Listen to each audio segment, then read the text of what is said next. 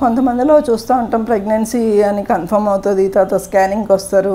స్కానింగ్లో మనకు ప్రెగ్నెన్సీ గర్భసంచి లోపల ప్రెగ్నెన్సీ ఏం అనిపించదు లోపలంతా కూడా ప్రెగ్నెన్సీ బదులు గర్భసంచి లోపలంతా నీటి బుడగల్లా గుల్లలు గుల్లలుగా ముత్యాలలాగా అట్లా ఏదో స్కానింగ్లో డిఫరెంట్గా కనిపిస్తుంది. దాన్ని ముత్యాల గర్భం అంటాం అన్నమాట ముత్యాల గర్భం అంటే జెస్టేషనల్ ట్రోఫోబ్లాస్టిక్ డిసీజ్ అంటాం అన్నమాట దీంట్లో ఏంటంటే మోలార్ ప్రెగ్నెన్సీ అంటాం.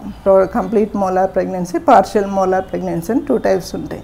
దీనిలో అంటే అనేక కారణాల వల్ల అలా అవ్వచ్చు. పిండం అనేది సరిగా ఏర్పడినప్పుడు తర్వాత ఒక అండానికి రెండు వీరకణాలు వచ్చి ఫర్టిలైజేషన్ అయినా తర్వాత పాలదీకరణ జరిగిన తర్వాత అది మళ్ళీ రెండుగా డివైడ్ అవ్వడం ఇలా అనేక జన్యుపరమైన కారణాల వల్ల ఈ మోలార్ ప్రెగ్నెన్సీ అనేది ఫామ్ అవుతుంది అన్నమాట తర్వాత నిర్వీరమైన అండం లోపల రెండు వీరకణాలు వచ్చినా అలా కూడా ఆ డివిజన్ సరిగా లేనప్పుడు ఏంటంటే అది మోలార్ ప్రెగ్నెన్సీ ముత్యాల గర్భం అనేది ఏర్పడుతుంది. దీంట్లో అంటే గర్భసంచి లోపల జనరల్గా ప్రెగ్నెన్సీ వచ్చినప్పుడు పిండం ఏర్పడి గర్భసంచి లోపల గర్భాశయం లోపల జెస్టేషనల్ శాఖ అంటే ప్రెగ్నెన్సీ శాఖ వచ్చి దాంట్లో ఫీటల్ నోడ్ వచ్చి తర్వాత ప్లెజెంట్ అవన్నీ ఏర్పడతాయి. వీళ్ళలో ఏంటంటే ఆ ఫీటల్ నోడ్ అనేది ఏర్పడదు. ఏర్పడకుండా ఉత్త గర్భ ప్రెగ్నెన్సీ శాఖ వచ్చి జెస్టేషన్ శాఖ లోపల మొత్తం అంతా కూడా ప్లెజెంటల్ టిష్యూని రెగ్యులర్గా డెవలప్ అయ్యి గుల్లలు గుల్లలుగా ముత్యాలు ముత్యాలుగా వాటరీ వాటరీగా ఫామ్ అవుతాం. దీన్ని ముత్యాల గర్భం అంటాం. కొంతమందిలో అంటే పార్షియల్ మోలార్ ప్రెగ్నెన్సీ అంట. దీంట్లో కొంచెం పిన్నం ఉంటుంది. మిగతా అంతా కూడా ఈ ప్రె ప్లెజెంటా అనేది అన్హెల్తీగా డెవలప్ అవుతూ ఉంటుంది. ఇలాంటి వాళ్ళకి ఏంటంటే ప్రెగ్నెన్సీ పెరగదు గర్భసంచి సైజ్ పెరుగుతూ ఉంటుంది కానీ లోపల పిండం అనేది ఉండదు. వీళ్ళలో ఏంటంటే ఒక్కోసారి సడన్గా నొప్పి రావడం బ్లీడింగ్ అధిక రక్తస్రావం అవ్వడం ఇంకా అన్కంట్రోల్ చేయలేని పరిస్థితి గర్భసంచి షింక్ అవ్వదు. ఒక్కోసారి అవసరమైతే గర్భసంచి కూడా తీసేయాల్సిన పరిస్థితులు కూడా ఉంటాయి.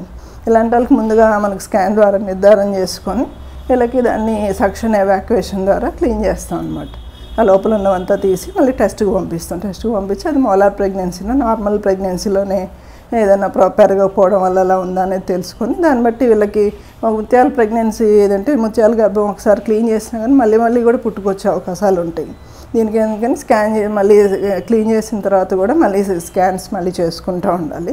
తర్వాత అవసరమైతే బీటా ఐసీజీ హార్మోన్స్ చూసుకుని అవి నార్మల్ రేంజ్కి వస్తున్నాయా లేదా మానిటర్ చేసుకోవాల్సి ఉంటుంది. కొంతమందిలో ఈ ముత్యాల గర్భం తీసినప్పుడు ఎక్కువ అధిక రక్తస్రావం అవసరమైతే బ్లడ్ ఎక్కించాల్సి రావడం ఒక్కోసారి ప్రెగ్నెంట్ గర్భసంచి బాగా సాఫ్ట్గా ఉండడం వల్ల గర్భసంచి పర్ఫరేట్ అవ్వడం అంటే డ్యామేజ్ అవ్వడం ఇవన్నీ కూడా ఇబ్బందులు ఉంటూ ఉంటాయి.